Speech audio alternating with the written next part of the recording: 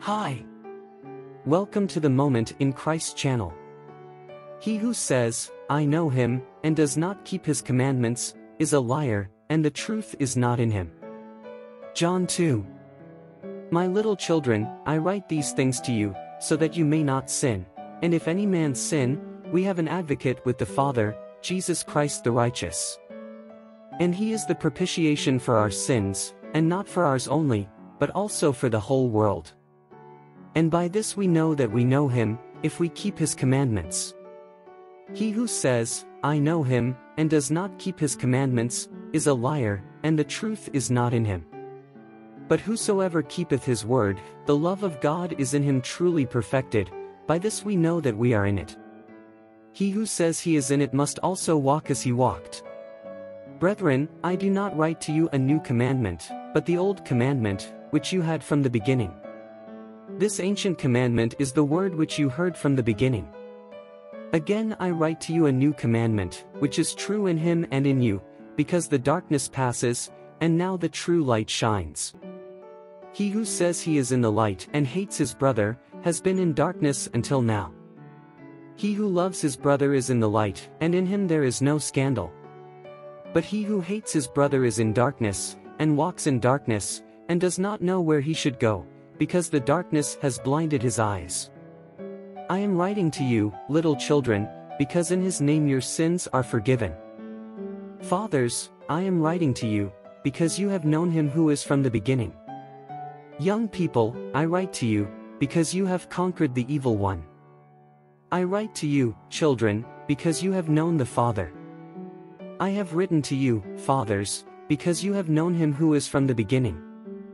I wrote to you, young people, because you are strong, and the word of God is in you, and you have already overcome the evil one.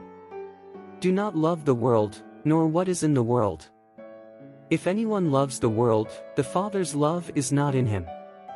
For all that is in the world, the lust of the flesh, the lust of the eyes, and the pride of life, is not of the Father, but of the world. And the world passes away, and its lust, but he that does the will of God abideth forever. Little children, it is already the last hour, and as you have heard that Antichrist is coming, even now many have become Antichrists, whence we know that it is now the last hour.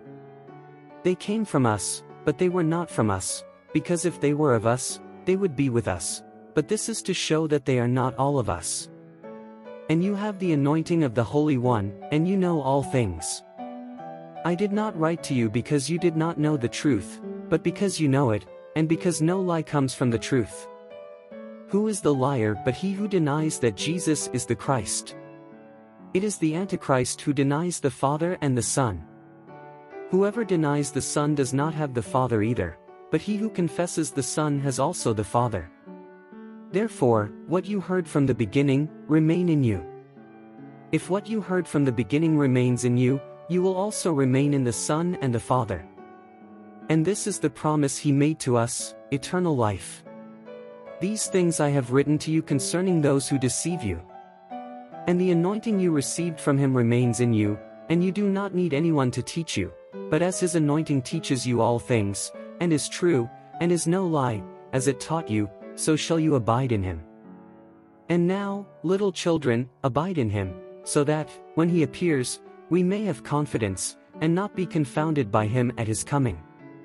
If you know that he is righteous, you know that everyone who does what is righteous is born of him.